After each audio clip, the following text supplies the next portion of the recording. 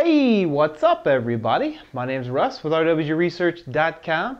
Today's date is 4-16-2018.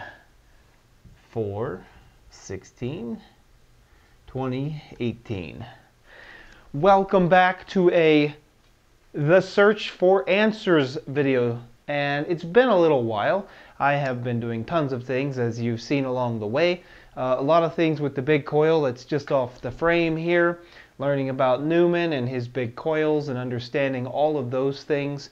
Uh, and before we get started, I want to show you, thanks to Richard, here is the three foot long, one and a half inch diameter shaft that is for the new test rig. That's right. That is a monster. Remember that 200 pounds of copper? Well, there's going to be 78 magnets on that shaft right there to go along with that 200 pounds of copper. That's for a whole nother day. But uh, today, I want to talk about the search for answers. So it's been a while. I don't know what video this is. I'll put it right here, hopefully, because I'm doing some new video editing software.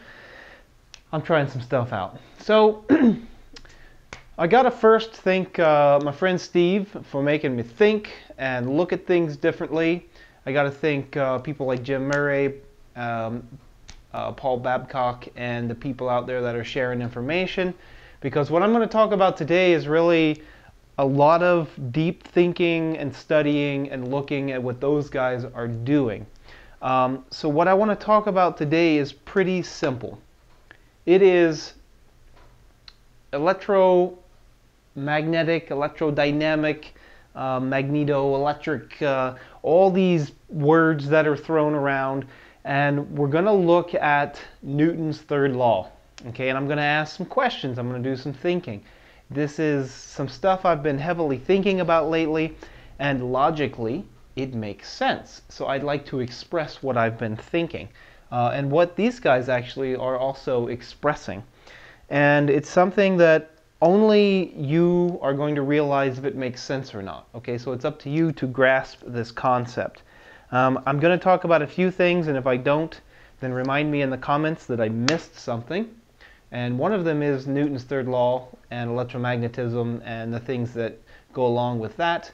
And then also, I want to talk about momentum, and um, I want to talk about inertia, and I want to talk about how those work in the electrodynamic spectrum. Um, I think briefly I'm going to scratch this and I'm going to go back and then I'll switch back. But briefly I'll scratch this so I don't forget. So when you're thinking about what we've already talked about, okay, if you haven't watched the videos on the search for answers, it's been a little while so you can go refresh yourself. But one of the things we always talked about is that electricity has inertia and it's literally inertia and from doing lots of thinking, studying, talking with people and other people's ideas and just looking around, it feels and looks like, okay, that inertia is built up in spin, spin alignment. And uh, we could go into quantum mechanics and start talking about that, but there's no need for doing that now. But all these things play in, and a lot of the um, things that we do mathematically don't always include all of these things um, nonlinear systems and looking at uh, inertia and momentum in the electromagnetic field. And um, don't forget the uh, dielectric field and the magnetic field. Both of these fields have these dynamic properties to them. And uh, yeah, it's all very like you have to put it all together to completely understand this stuff and to wrap your head around some of these ideas and how these things work. Um, so let's get started with talking about a simple concept which we've talked about before. Okay, we've talked about this before. Remember when we talked about having a pipe? Okay, so this is the inlet here. All right, and we've got something such as water going in right? We've got a pump over here and we're pumping water this way. And this is a closed pipe and this pipe is expandable, all right? It's a rubber hose of some kind. So as we're forcing, all right, this water in, yeah, and it's a closed-ended pipe, we've got forces, right, pushing on this pipe in all directions. So as the water is being pushed in, all right, we're going to call this uh, EMF, all right, and actually there's another thing that I've been studying, which is the difference between EMF and voltage, and how these two are usually used as the same term, which they're not. Um, it's I'm not going to get into much, I don't think, in this video about that, but eventually we're going to need to talk about power and energy and the difference between the two. I don't think I'm, I'm going to bring that up in this video. It's going to be too long. Um, so we've got in th this this motion, okay, the water going in, in this case, all right, we're going to call the EMF. Okay, but what we cannot forget, right, is that there's always this exact opposite, right? Always an opposite pushing the other direction, right? And the pushing the other direction at all times, if we're going to use Newton's third law, an equal and opposite reaction, then EMF always produces a counter EMF, right? CE, I totally wrote that down wrong. Oh no, C, uh, no I didn't. Okay, so we have an electromotive force and a counter electromotive force. Now, the first things you guys are going to notice is that I didn't use the word back EMF, okay? We're going to put back EMF down here in a box and we're going to lock it down here and we're not going to talk about that right now. Back EMF is something different than counter EMF, okay? Because you got to separate the terms and you got to know what you're talking about and you have to define what you're saying or you cannot discuss it with people. So back EMF is down here. That's where like the inertia and the um, um, the momentum and all these other things they start playing in down here. We've talked about that in the past. And I separated these in the past, and this was the example. So looking at this example of EMF being forced this way and counter EMF and opposite, right? The more pressure you put in, and again, water is not compressible, and I believe electricity is probably non-compressible. So in this case, we're looking at a fluid here in a pipe that's expandable because electricity is elastic, yet not compressible. So it's like, it feels like, and this may be a wrong statement, but it feels like the dielectric field is an elastic field, right? And the magnetic field is a non-compressible field. It, if you try to squash it, it pushes out other places, um, which, which, which makes it a little different. So in this case, we're going to look at it in this circumstance, okay? So we're not going to use those terms because they get confusing, but we're just going to look at electromotive force and counter electromotive force, okay? And this is a force, so it's pushing, okay? But we need this electromotive force to generate a magnetic field, and we need the magnetic field to do work. So currently, um, it is to my understanding that we talk about the definition of um, 100% efficiency. Okay, we talk about 100% efficiency, all right?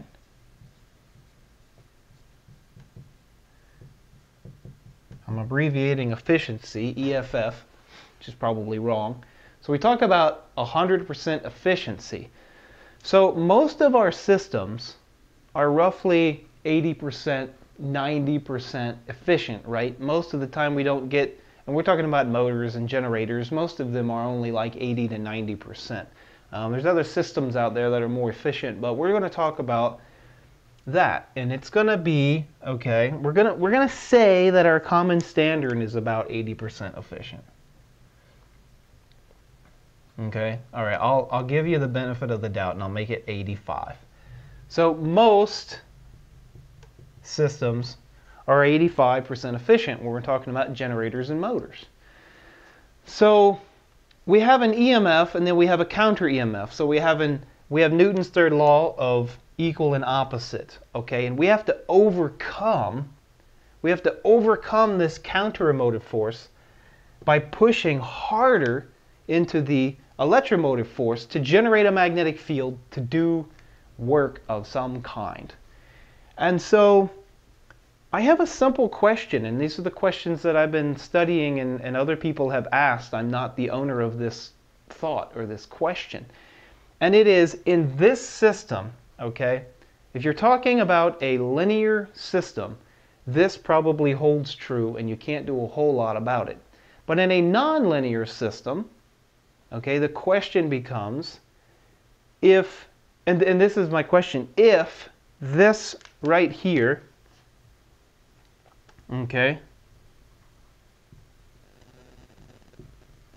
if this is the third law, if this makes up the equal and opposite reaction, okay, then if it was possible, okay, and if this holds true, then this 85%, uh, 85% efficiency, or I should say the 100% efficiency, right, is using this principle of Newton's third law in the EMF and counter EMF.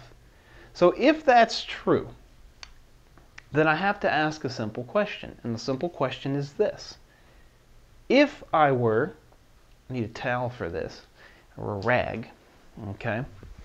If I were to say that if there was a way to, okay, reduce this, all right, and let's make it only this big, all right, and these were on a scale, then my electromotive force versus my counter electromotive force is not balanced anymore. Let's say I could almost remove, or let's say I could completely remove the counter electromotive force. If that could be done, and I think it can, then the question is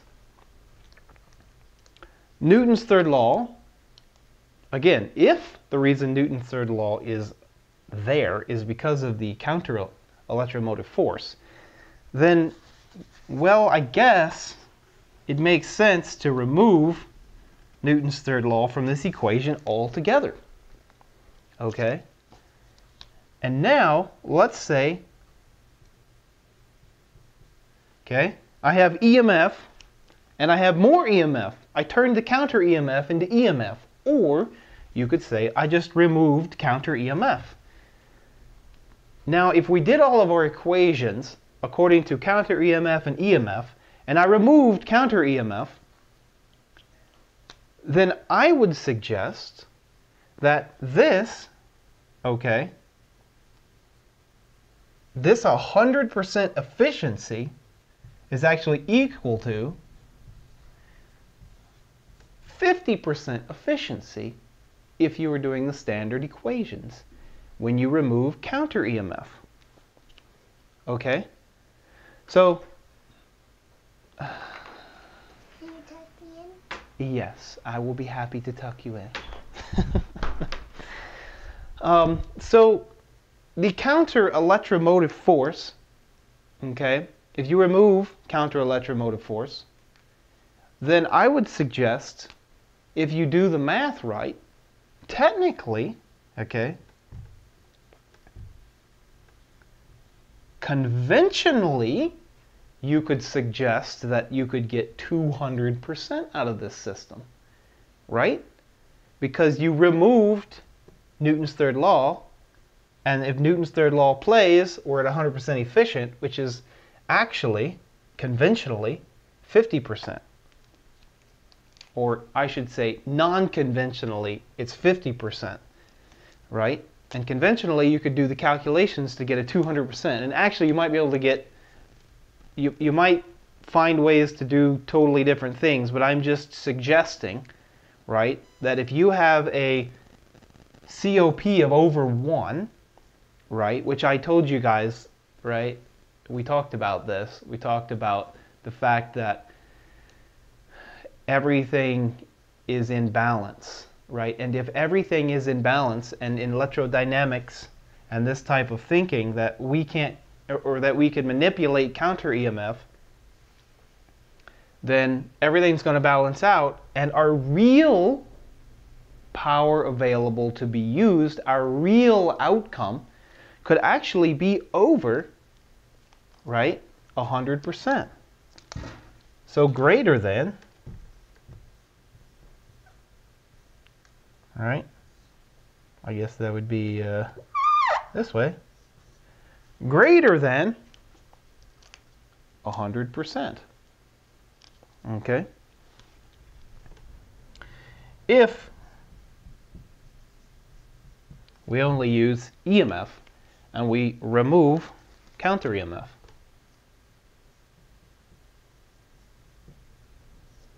Right? If we remove counter EMF and we only have EMF, then we could get above 100%.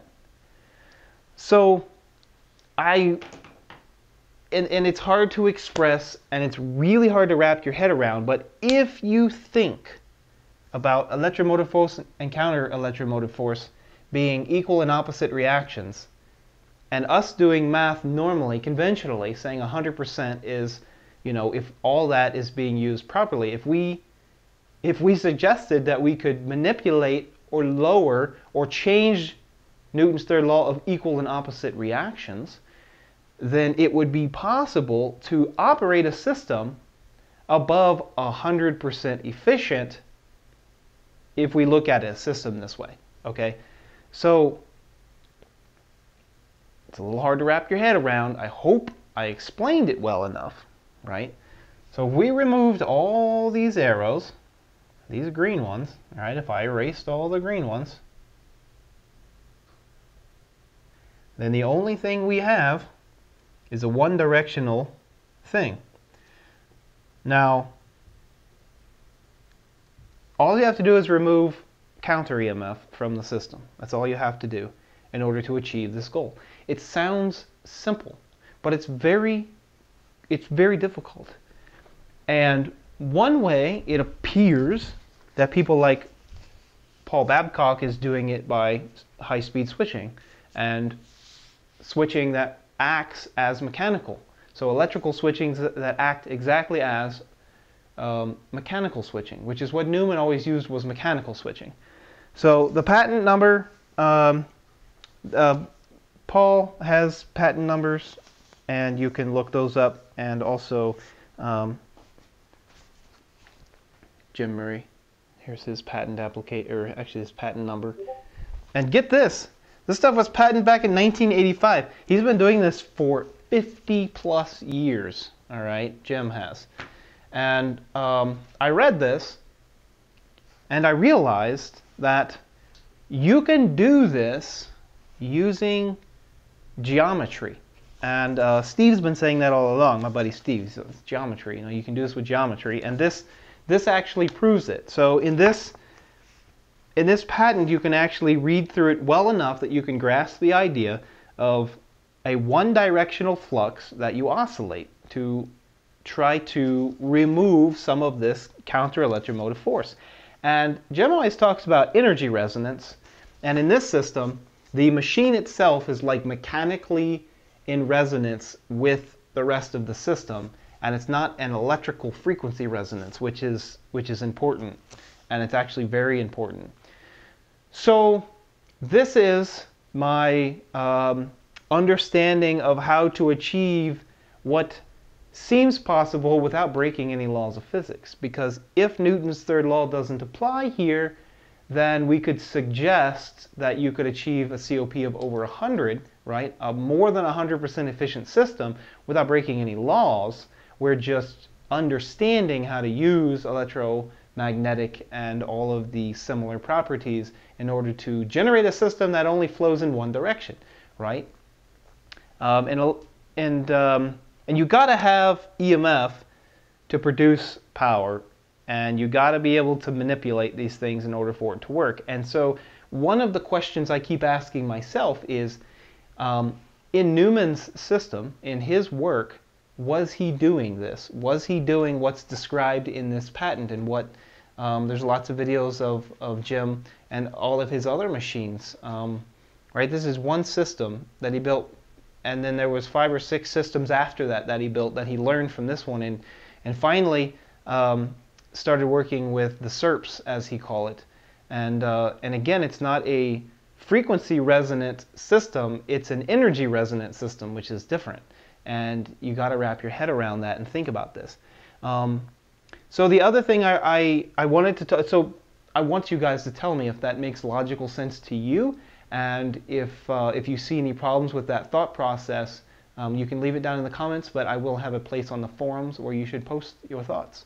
So the other thing um, is if energy is conserved, then, um, and you can manipulate Newton's third law using nonlinear systems, then in, in, in this type of work, in the electrodynamic electromagnetic uh, spectrum of work, then uh, when we talk about back EMF, and we talk about conservation of energy, and from my understanding, Maxwell equations have some complications with this.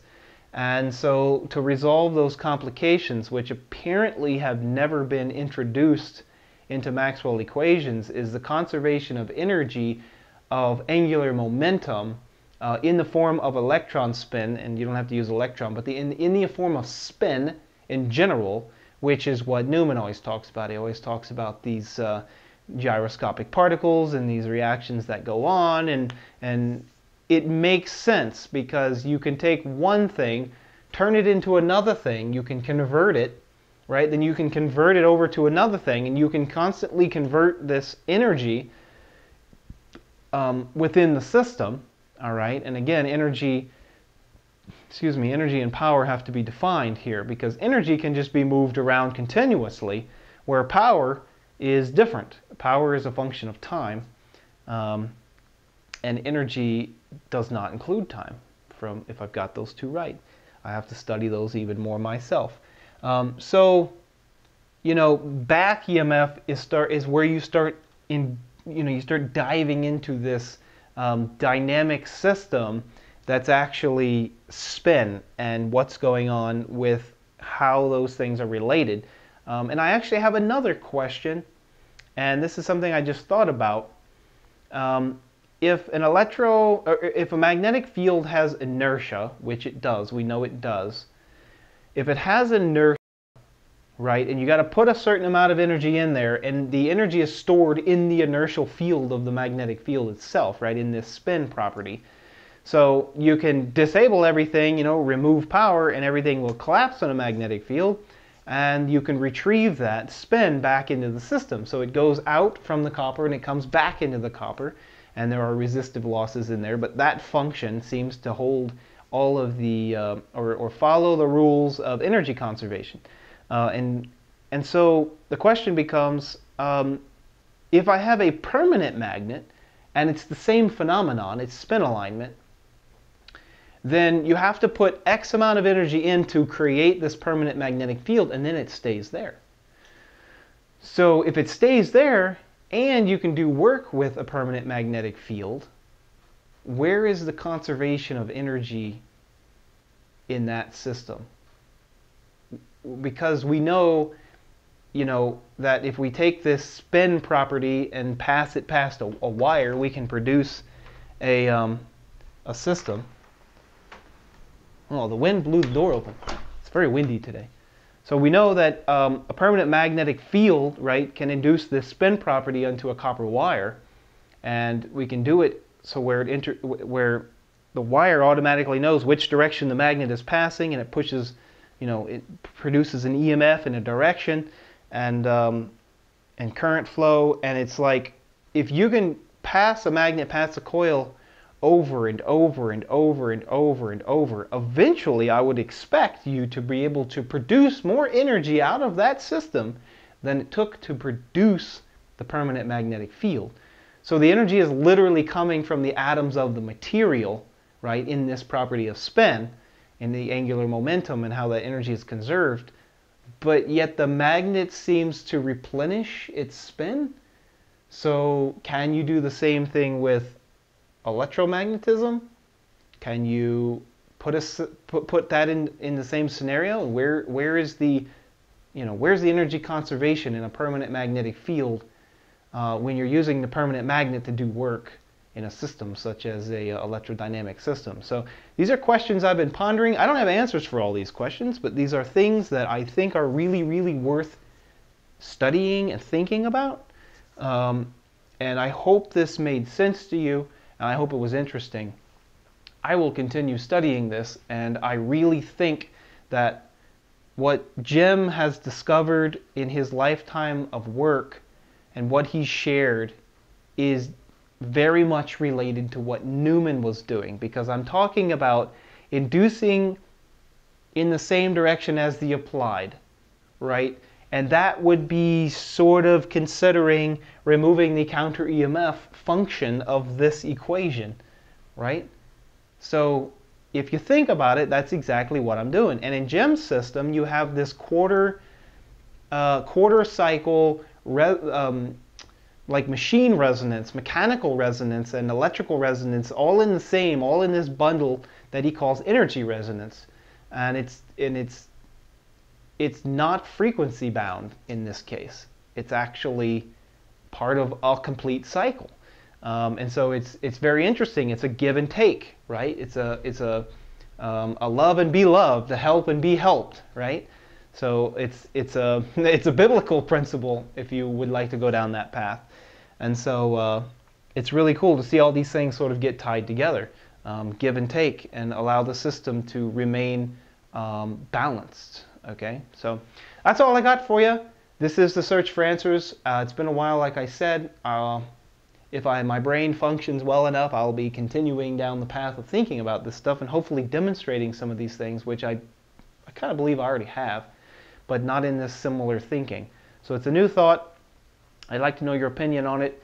And uh, as always, read the Bible more. It's very encouraging. There's a lot of stuff in there that will help you along your own adventure and uh, along your life. So God bless. Have a good day. Thanks for watching.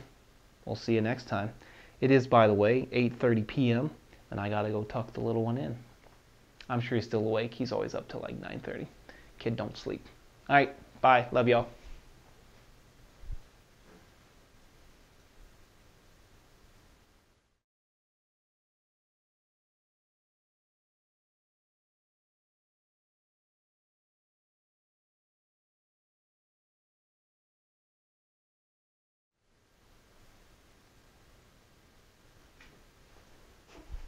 By the way, I had a plan. And I don't know how the plan's going to be finished. But you see that wire right there? Yeah. I was going to wrap it on there. Although it was going to take me a while.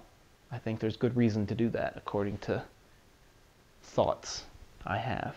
All right, see you.